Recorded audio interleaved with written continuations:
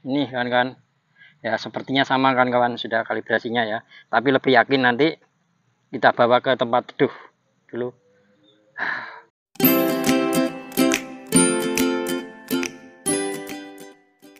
Assalamualaikum warahmatullahi wabarakatuh. Kawan-kawan jumpa lagi bersama saya di channel Bella Hidroponik. Oke kawan-kawan saat ini saya berada di Sanjaya Farm ya. Atau lebih tepatnya ada di timur terminal Tamanan Kota Kediri kan kan ya. Jadi hari ini kita akan coba melakukan uh, kalibrasi kan kan ya. Kalibrasi tetesan atau untuk instalasinya ini sudah kita persiapkan dari kemarin ya. Jadi kita akan kalibrasi dipastikan hari ini hasil tetesan setiap polybag atau setiap PCC itu mengeluarkan hasil yang sama ya kawan-kawan.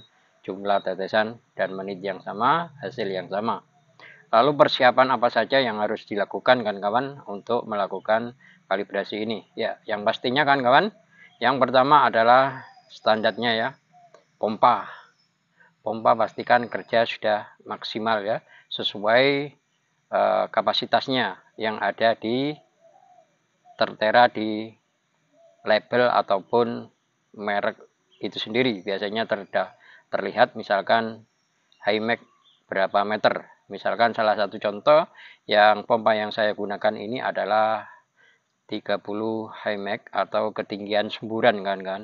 Artinya apa? Kalau kita konversi ke bar itu akan mendapatkan 2,9 sekian bar. Artinya hampir 3 bar ya kan kawan ya jadi pastikan kan kawan kalau PCC ukuran 2 liter per jam, maka pastikan tekanan pompa sebaiknya untuk standar ya. Gunakanlah pompa di atas 2 bar tekanannya. Agar apa? Agar mendapatkan hasil yang maksimal eh, sesuai kebutuhan. Karena apa kan kawan? Bukannya tidak keluar, walaupun misalkan teman-teman menggunakan BCC 2 bar tapi menggunakan pompa hanya kapasitas misalkan 1,5 bar itu keluar kan kan? Keluar. Tapi apakah dari pangkal hingga ujung itu keluarnya sama enggak airnya? Nah, itu yang penting kan kan? Karena di sistem hidroponik yang saya lakukan adalah faktor paling penting adalah eh, sama siraman itu jumlah airnya ya dalam waktu yang sama itu akan berdampak sangat kepada hasil tanaman kita ketika uh, melalui SOP yang benar.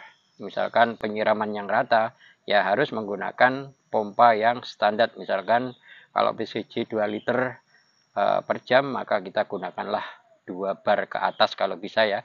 Karena kita untuk antisipasi pompa semakin lama itu pasti ada kelemahannya. Semakin lemah misalkan kayak gitu mungkin dipakai setahun dua tahun sudah akan berkurang. Jadi kita antisipasi e, menggunakan atau tekanan di atas keperluan kalau bisa.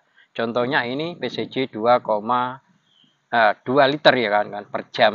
Maka saya menggunakan tekanan pompa hingga high max eh, 30 meter. Kalau dikonversi tadi saya katakan hingga 2,9 bar kan kan jadi ini hasilnya nanti akan maksimal. Walaupun nanti beberapa tahun, walaupun ada penurunan, itu masih mengatasi kebutuhan titik tanam ini eh, sekian mili misalkan kayak gitu ya. Jadi bisa terpenuhi Oke kan kawan. Misalkan sudah terpenuhinya dua bar ke atas ya, maka juga ada faktor penting. Yang pertama gunakanlah pipa sesuai SOP. Karena apa kan kawan? Yang saya lakukan biasanya kita menggunakan uh, ada kalkulatornya kan. Hitung-hitungannya itu ada kalkulatornya. Kapan-kapan nanti kita share ya. Jadi sekian mili sekian meter itu membawa air berapa di tekanan air berapa itu sudah ada. Jadi ini yang standar yang saya lakukan uh, untuk di kebun Sanjaya Farm ini. Saya menggunakan pipa uh, utama ya atau main pipe itu dua in kan kan ya Lalu untuk drip line-nya saya menggunakan 20 mili kawan-kawan. Jadi ini baru saya pemasangan untuk di sistem drip melon ya menggunakan 20 mili. biasanya saya menggunakan hanya 16 ya 16 mili yang kecil itu kan kawan karena semakin lama kita pelajari semakin ada kendala maka kita semakin belajar kita semakin matang dan semakin yakin bahwasanya apa yang kita lakukan semakin membaik kan kan dari kita belajar dari semua kesalahan yang kita lakukan ya pasti manusia itu untuk e, perbaiki pasti banyak kesalahan di awal terbaiki sedikit sedikit sedikit hingga mencapai titik maksimal. Oke, saya kasih contoh kan kan misalkan ini ya saya menggunakan e, pipa 16 mili. Kalau menggunakan pipa 16 mili kan kan maksimal polybag atau dripnya atau PCJ-nya kan kan saya uh, sampai ke 60 ya 60 polybag atau 60 titik PCJ kawan-kawan ya. Jadi kalau yang 16 itu saya menggunakannya uh, maksimal yang 16 ya kan kan saya biasanya menggunakan maksimal itu 30 polybag atau 30 titik. Kalaupun nanti uh, pipa uh, ataupun uh, yang ukuran 16 pipanya ataupun selangnya tapi panjangnya kok 70 ataupun 80 itu kalau nggak bisa. Paling maksimal adalah 60 kan kan nanti kita bagi dua ya bagi dua. Jadi main pipe-nya itu kita uh, buat T di tengah ya kan kan jadi dibagi dua aliran kanan dan kiri. Kalau untuk uh, 16 mili tidak akan mampu untuk mengaliri air uh, sepanjang 60 polybag pasti ada mengatakan mampu. Ya, memang mampu. Keluar air, keluar. Tapi untuk sama, tidak mungkin. Kalau sama yang awal-awal saja, begitu tekanan menurun, pompa umur satu bulan ataupun belum panen, maka di ujung itu biasanya mulai tersumbat kan, kan. Ini sudah kita alami. Sebab itu saya berani bercerita bersama rekan-rekan semuanya. Oke, uh, seperti apa yang akan kita lakukan? Saya sudah siapkan kan kawan. Uh, ini gelas ya. Untuk mengukur kita gunakan tiga gelas saja. Karena kini panas waktunya kan, kan sendirian nggak ada tim ini. Karena saya coba uh, untuk melakukan yang terbaik sebelum uh, melakukan penanaman ya. Karena kita baru nyemai beberapa hari empat hari.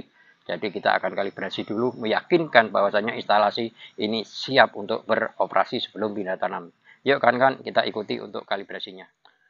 Oke kan sebelum kita lakukan kalibrasi ya kita akan cek untuk pompanya ya kelistrikan.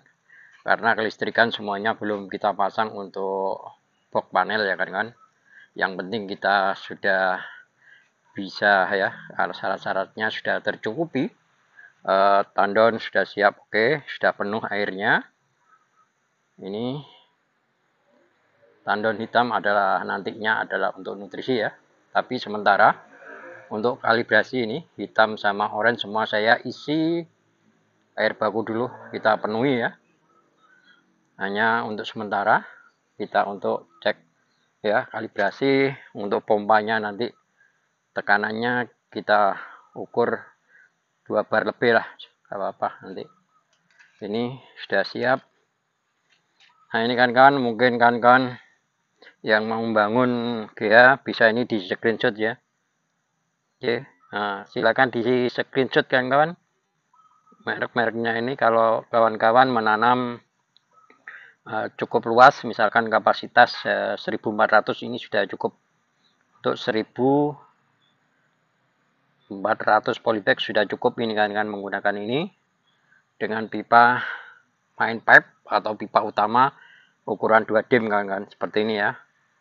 Ini jadi pompa ini sudah mencukupi syaratnya untuk menanam 1400 polybag kan ya. Ini bisa di screenshot bisa dipelajari kawan-kawan. Nah ini saya nggak bisa sebut mereknya cukup kawan-kawan lihat langsung ya. Nah ini bisa di screenshot. Oke. Lalu ini kan kawan kita sudah persiapkan filternya. Ada pressure G ya. Ini agak gelap kan kan ya? Karena melawan matahari. Karena di sana panas. Oke kan kawan? Sebelum kita hidupkan untuk mesin kita akan uh, lihat sini dulu. Oke kita ya ini kan kan? Jadi yang sebelah sini sudah dipastikan kemarin sudah tidak ada kebocoran ya ini. Jadi ada dua tahap nih. Ini tanam kurang lebih 1000 tanam ya. Lalu nanti dilanjut nanti mungkin setelah seminggu atau dua minggu baru yang sebelah sana kan kawan. Kita tanami ya. Coba akan kita hidupkan dulu kan kawan mesinnya ya. Dipastikan tidak ada kebocoran. Oke kawan-kawan saya sudah hidupkan. Ini kita cek tekanan ya oke ini kan 2,4 coba kita turunkan saja ya. Kita turunkan sedikit kita buka backflow nya sedikit.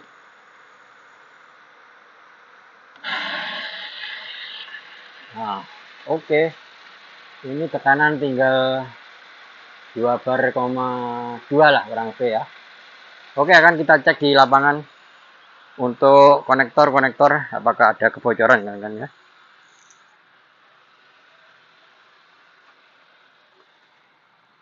Oke, semua aman kawan-kawan sepertinya. Sampai sana oke, tidak ada kebocoran semuanya. Coba kita cek tetesannya ya. Oke, kawan-kawan.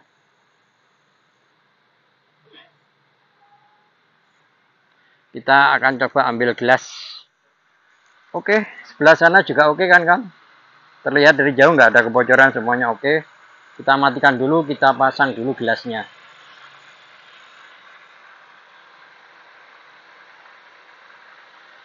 Oke kita matikan ya. Oke kawan-kawan sudah saya siapkan tiga gelas ya. Yang satu saya pasang di sini biar mudah terlihat kontrol. Nanti penuhnya sampai berapa ya. Biar enak nanti kita kontrolnya. Oke di sini juga apa-apa. Kan yang satu kita taruh sini ya nanti yang ujung saya taruh di sana oke? Okay? bentar lagi kita ke sana.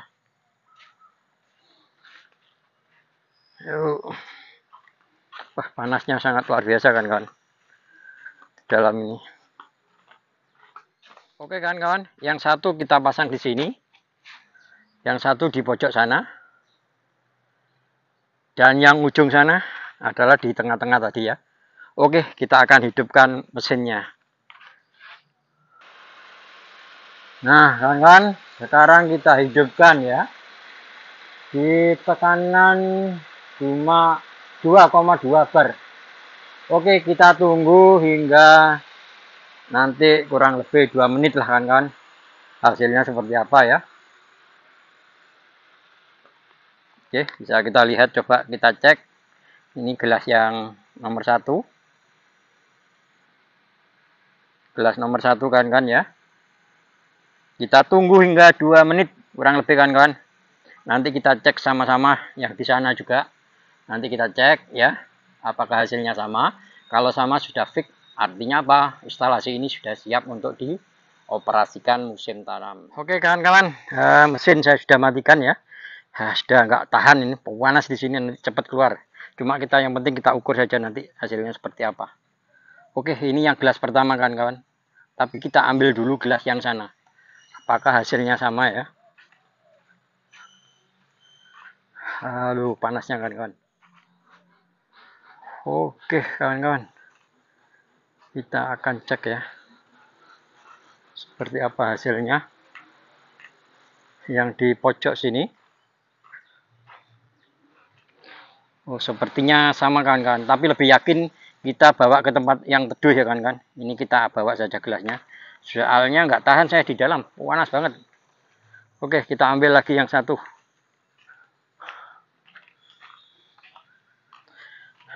Ini kan kan ya sepertinya sama kan kawan sudah kalibrasinya ya. Tapi lebih yakin nanti kita bawa ke tempat teduh dulu. Oke kawan-kawan. Ini hasilnya ya. Saya coba akan dekatkan kamera Apakah sama untuk dari penglihatan teman-teman ya? Kalau saya secara langsung di sini, alhamdulillah kan kawan, nggak ada selisih ya. Semuanya sama. Ini, oke saya coba rendahkan. Kamera saya dekatkan. Ini permukaannya kan kawan.